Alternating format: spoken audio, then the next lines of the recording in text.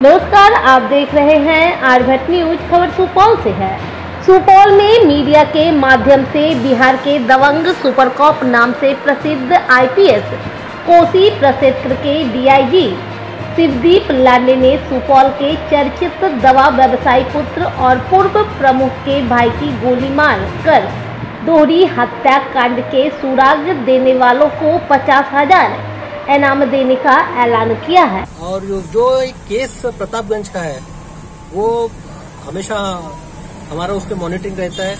Different angle उसके different aspect different modus criminal का history criminals के बैकग्राउंड सारा चेक करने के बाद उसमें दिन रात तक सबने मेहनत किया है।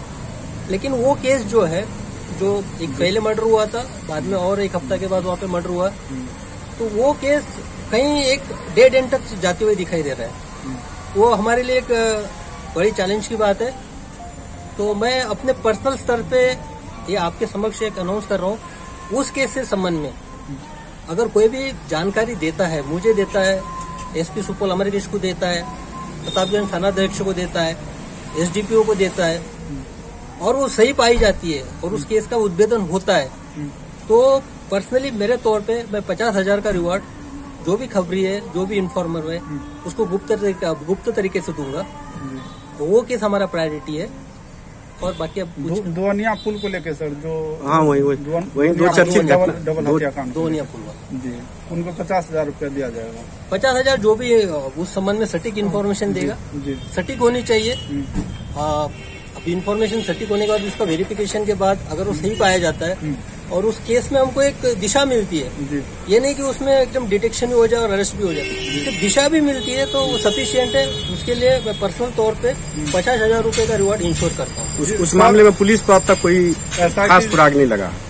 उस बारे में देखिए हालाँकि मैं आने से पहले की ये घटना थी नवंबर की घटना हाँ, थी। मैं जनवरी सत्रह और उनतीस। नवंबर। हाँ एक एसआईटी भी बनी थी। सत्रह और उनतीस के दो घटनाएँ हैं। सत्रह का पहला मर्डर हुआ उसी के बाद में उनतीस में दूसरा मर्डर हुआ था। तो एसआईटी का सारा एनालिसिस करने के बाद मैं पर्सनली भी उसको रिव्यू करता था सारे केसेस को देखता था उससे संबंधित जो भी केसेस है आसपास के केसेस है। उस एरिया के जो क्रिमिनल्स है जिनका हिस्ट्री है जिनके रिकॉर्ड्स है इनफैक्ट जो जेल में कैद है जेल से रिलेटेड भी बहुत सारी इन्फॉर्मेशन निकाली लेकिन कहीं ना कहीं एक डेड एंड तक वो केस गई है उसमें एक्चुअली ज़्यादा खुल नहीं पा रहा है। तो एक चलो मेरा मानना हमेशा रहा है कि पुलिस पब्लिक के रिलेशन से ऐसी कोई घटना नहीं कि जिसका उद्भेदन नहीं हो सकता है। अब जैसा हम तो हमारा कर्तव्य कर रही है लेकिन हो सकता है किसी को लगता है कि इस संबंध में उसके बाद जानकारी है तो खुल के हमारे पास है। इसके लिए मैं भी अवेलेबल हूँ एसपी अमरकेश भी है